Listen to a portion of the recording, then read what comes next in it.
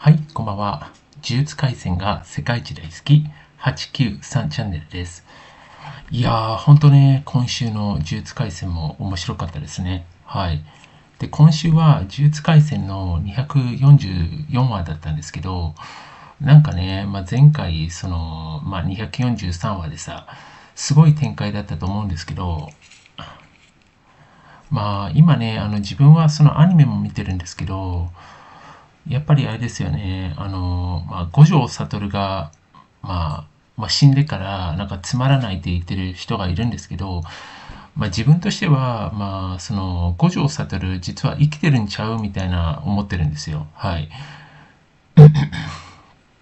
あと、高羽だけ？あの、高羽も強いし、うん。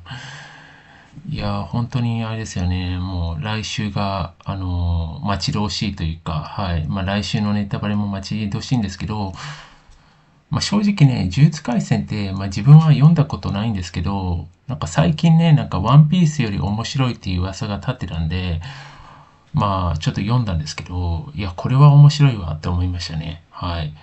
いや、ほんと最高ですね、呪術廻戦。はい。あのーまあ、本当になんだろう、YouTube とかでもそうなんですけど、なんか呪術廻戦の方がなんか動画多いから、最近はワンピースを人気で追い越してるなと思いましたね。はい。